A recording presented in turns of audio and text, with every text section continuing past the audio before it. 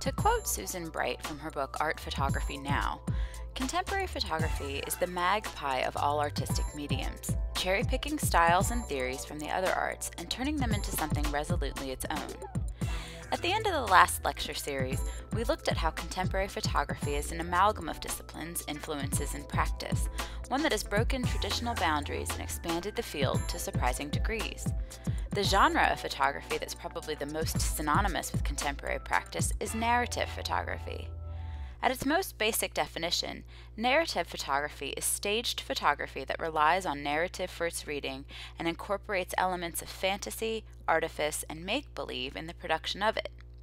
With narrative photography, the photographer is the auteur or director, carefully orchestrating all of the elements of one particular shot, and the resulting image is generally a one off, meant to exist as a singular, all encompassing moment. In this lecture, I'm going to talk about the evolution of narrative photography, specifically about how it evolved from the conceptual photography we discussed in the previous lecture, and how contemporary artist photographers are exploring the idea of narrative photography today. But before I do that, I want to take just a few minutes to talk about what narrative and narrative structure is. For your assignment in this module, you'll be using, using narrative structure to help you conceptualize your images and plan your shots, so it's important to understand how it works. If you've studied literature or filmmaking, this may be old news, and if so, maybe this will be a short refresher. But if you're new to the concept, then stay tuned and pay attention. You'll need this moving forward. The term narrative suggests a story and implies movement.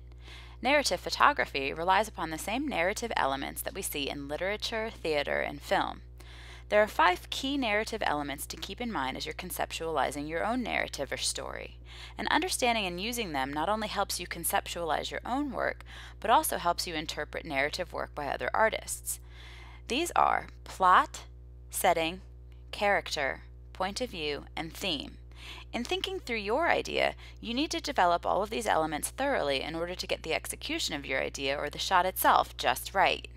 The plot is the action of the narrative, and it's comprised of multiple elements that steer the action in a story arc that makes the narrative flow. The exposition is the introduction of the action. Here, you introduce your characters, you provide any necessary background, and you establish the setting. Then you introduce rising action or conflict. These are the major events of the story that occur between the introduction and the climax, and there are traditionally two types of conflict internal, which is man versus self, and external, man versus man, man versus nature, and man versus society. After you establish the conflict, you determine the climax or the turning point of the story, and this is where your audience is able to ask the question, What happens next? After the climax, you have the falling action when the story winds down to the final element, and then the resolution or the conclusion. The setting is the time and location of the story. Where and when does the action of the story take place? Is there one setting or are there multiple settings? Character describes both the main actors, the protagonists and antagonists of the story, and the type of people they are, their characteristics and their personality. The point of view is the angle from which you tell the story. And finally, the theme is the central message or moral of the story. The theme is what unifies all the other elements within the narrative, and this works both in the literary sense and visually, so keep that in mind as you conceptualize your own work. In narrative photography, not all of these elements are necessarily visible within the image itself. Clearly, if you have one single image, you can't really contain an entire story arc or multiple settings or an in depth character study the way you could in a novel, a movie, or a multi act play. But what's important to remember is that photographers who are concerned with narrative photography think about and use all of these elements as they're conceptualizing their work. And remember, the photograph is the result of the idea, not the thing itself. All right, now we can look at some art. My hope with this lecture is that you watch it once and then go back and revisit the work and the photographers I show you. As you do, see if you can decode the images by figuring out how each photographer has used narrative elements and narrative structure to construct the shot. Taking time to do so will help you in your own work, I promise.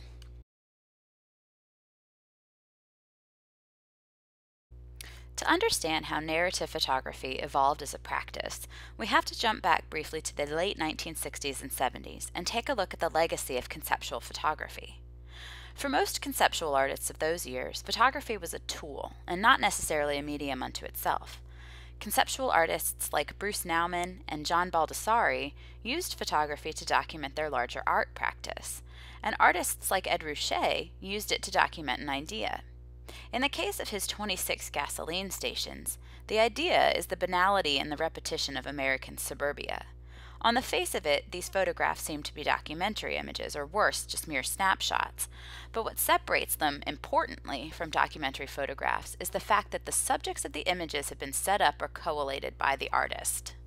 Bruce Nauman planned out elaborate body paintings and used the camera to record them as a means of presenting them to an audience that wasn't necessarily present at the time of their creation. Ed Ruscha spent countless hours traveling Southern California's suburban sprawl to prove a point. And his photographs illustrate that. Conceptual artists rejected modernism, and their using photography to do so helped propel photography forward, so that by the 1970s, photographer artists were creating things in their studio or organizing things in such a way expressly to be photographed.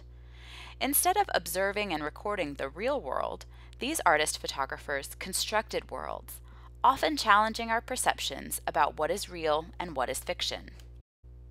The legacy of conceptual art is that it gave photographers the opportunity and the authority to compose and craft images the way that artists did in other media. Photographers no longer had to work with extant subjects and forms, available light, or other forms of reality. Photographers were no longer limited to the role of witness. And with the fabrication of settings and objects, photographers had carte blanche to directly subvert photography as evidence of a certifiable truth. In the 1970s, the dominant issue of art photography was the right of photographers to create their own subject matter instead of reporting it, and the result was a rediscovery of an expressive photographic language that had been cast out and excluded by modernist thinking and practice. Robert Cumming was one of the first artists to make use of constructed subject matter for his photographs. A painter, sculptor, and printmaker in addition to being a photographer, Cumming photographed elaborate and highly conceptual drawings and constructions. John Divola explores landscapes by looking for what he calls an edge between the abstract and the specific. He's known for embellishing or intervening in sites of ruin and decay. With his famous Zuma project, which he began in 1977, he, quote, attempted to develop a practice in which there could be no distinction between the document and the original. He found these deserted houses in Zuma Beach, Malibu, and often covered the walls with graffiti or altered the environment surrounding them to exaggerate the ruin. For Divola, the resulting photographic images are remnants of the artistic process. David Levinthal is known for his full scale studio based tableau, which often featured children's toys photographed to look real. In his famous work Hitler Moves East, which he photographed between 1972 and 1975 and wrote with Garry Trudeau, you can see how he captured his toy soldiers in such a way as to resemble documentary World War II photography. These images are so disturbing and surprising because they are almost believable. Sandy Skoglund is also famous for her large scale tableau, which combine humor and craftsmanship. In her case, she constructs detailed, elaborate, surrealist sets or installation, fashioned specifically as a new reality for the camera. These sets, which take her months and months to complete, are handmade and defined by their highly saturated colors and sculptural objects.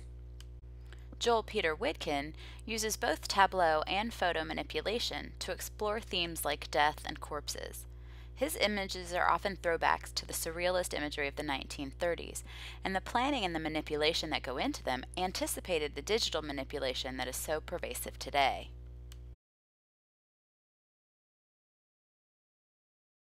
The self conscious awareness that we live in a camera based and camera bound culture is an essential feature of the postmodernist photography that took us to the end of the 20th century. Many artist photographers working with narrative photography in the 80s and 90s and early 2000s embraced the visual language of popular culture, mass media, and film to tell their stories. Cindy Sherman is a definitive member of the Pictures generation, which is a name given to a group of artists represented in a 2009 show at the Metropolitan Museum of Art that included Sherman, Barbara Kruger, and the next few artists we're going to take a look at. Her untitled film stills, shot between 1977 and 80, were groundbreaking works in which she manufactured a series of masks for herself using the conventions of the glossy publicity print that we looked at in our portrait lectures and narrative elements from film noir. For Sherman, this work is about unmasking, unmasking the tropes and the visual language of film noir, unmasking the idea of a woman as a depicted object, referring to the stereotypes of women in print media and film, and questioning the whole idea of a personal identity. Hers are self portraits that deny the self. Her self is pieced together from film, TV, fashion, and advertising. Eileen Cowin, in her family docudrama series from 1980 to 1983, uses the visual language of soap operas, film stills, and romantic comedy scenes to depict careful arrangements of family situations, where every actor is given specific roles and emotions in a constructed setting, characterized by anxiety. Laurie Simmons has become well known for carefully staging situations, but using miniaturized representations of human beings in equally miniaturized environments. In the 70s, 80s, and 90s, she staged scenes with dolls, ventriloquist dummies, objects on legs, and people in order to reference domestic scenes. More recently, she's been exploring high realistic sex dolls and avatars.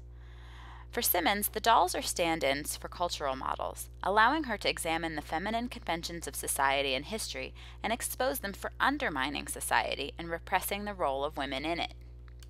The influence of film and cinema on contemporary constructed narrative or staged photography has been unmistakable. The language of film and how we engage with it is vital. Contemporary narrative photography borrows important elements from film, including pregnant pauses, the idea of mise en scène, which is where the audience arrives mid scene and doesn't necessarily know what happened before or what will happen after that particular moment, dramatic lighting, and cinematic tropes in such a way that allows for parody or pastiche.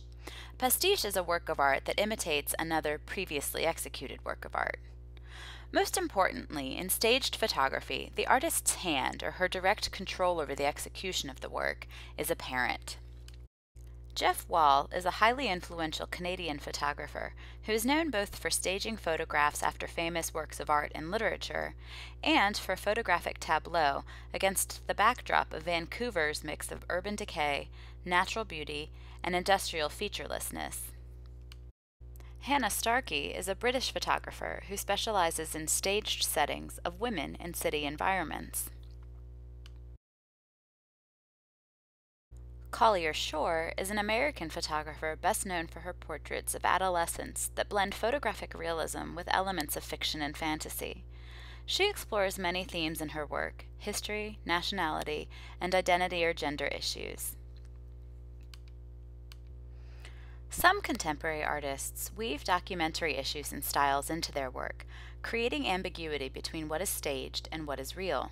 In this kind of work, there's often an inherent tension, characterized by feelings of uncanny or impending doom. We, as the audience, experience a push and pull between the beautifully constructed image and fear or anxiety. Gregory Crewdson works with staged tableau of American homes and small town neighborhoods. He orchestrates each shot the way a film director would orchestrate a motion picture scouring locations for the perfect location, employing dozens of actors and stage managers, and working with the same kind of production crew you'd see with a major film. Bill Henson is another contemporary photographer who explores the idea of duality with his tableau.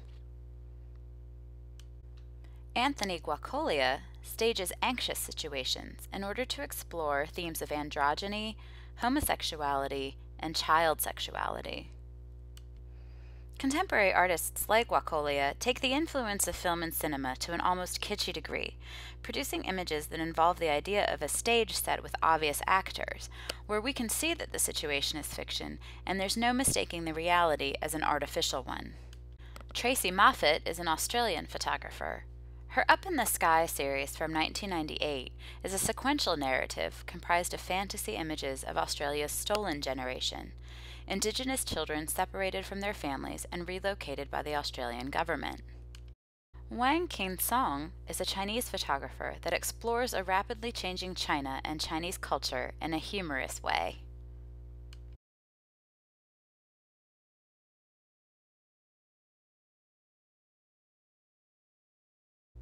And finally, to bring our discussion of broken boundaries full circle, we see contemporary photographers like the AES and F Collective, which is a group of four Russian artists, using digital processes free rein to produce grand visual narratives that explore global values, vices, and conflict.